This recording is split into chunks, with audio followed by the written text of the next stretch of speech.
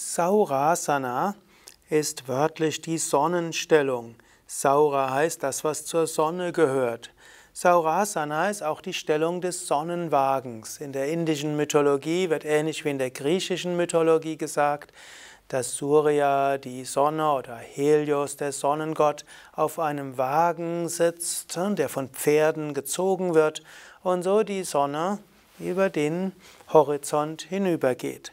Saurasana ähm, ist also diesem Sonnenwagen nachempfunden. Angelina zeigt, wie es geht.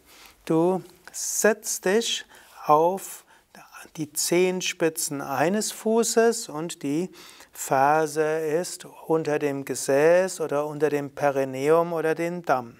Du streckst das andere Bein aus und hast die Ferse auf dem Boden dann kannst du entweder beide Fingerspitzen auf dem Boden halten oder die Hände vom Brustkorb zusammengeben. Und du kannst dir dann vorstellen, dass du jetzt wie auf einem Sonnenwagen bist, majestätisch, strahlend und leuchtend.